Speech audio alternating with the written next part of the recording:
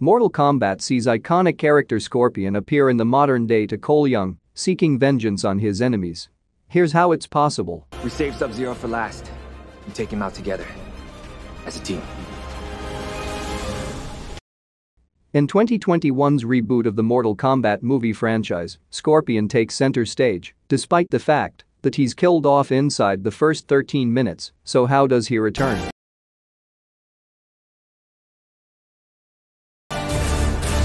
Though he is comparatively sparsely used throughout the runtime of Simon McQuoid's action-heavy spectacle, his shadow hangs over the entire story thanks to his ancestral relationship with franchise newcomer Cole Young, Lewis Tan.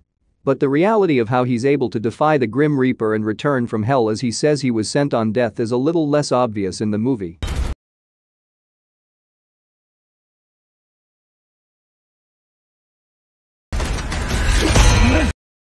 Mortal Kombat is, somewhat typically, heavy on lore, but the limits of a traditional cinematic runtime mean that there's a lot left unexplored about the original fighting game universe.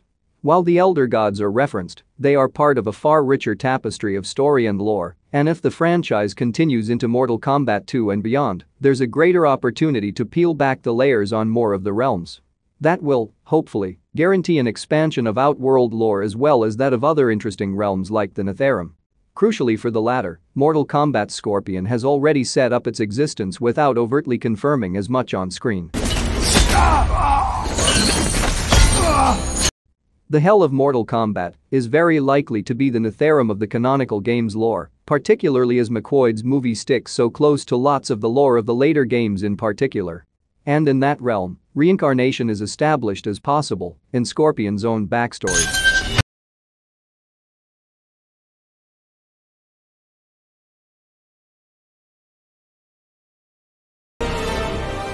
At one point Lord Raiden resurrected him using his magic in Mortal Kombat X, but even more importantly, Scorpion's status as a Spectre means that he is somewhat immune to death. He is bound to life by his revenge, and the death of his family in the prologue of the movie suggests this franchise is following the same logic. In a broader sense, the idea of vengeful reincarnation is a parallel of the Chinese belief in the dead returning if they have unfinished business.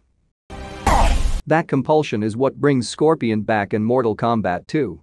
As in Abrahamic religious lore, hell is the place of eternal damnation, where the souls of those who have committed crimes are sent to be tortured. But Scorpion wasn't established as evil in Mortal Kombat's prologue, despite and his alignment against Sub-Zero and Shang Tsung by extension, seems to suggest moral goodness.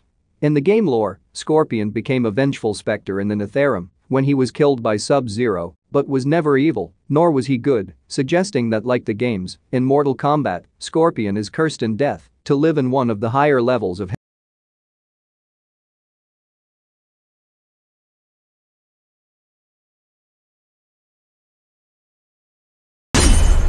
That would fit with his claim that he harnessed the fires of hell, as the higher levels allow the damned to withstand torture far easier.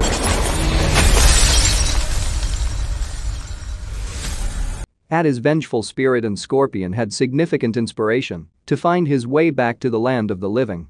For Scorpion to be completely resurrected would take something else, particularly now that his revenge is seemingly dealt with, though Joe Taslim's five-movie deal suggests Sub-Zero will be back for sequels, and he should have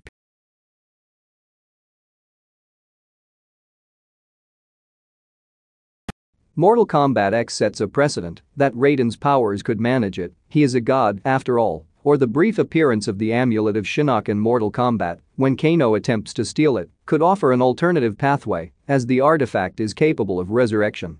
For now, though, the solution to the mystery of Scorpion's revival is his pain.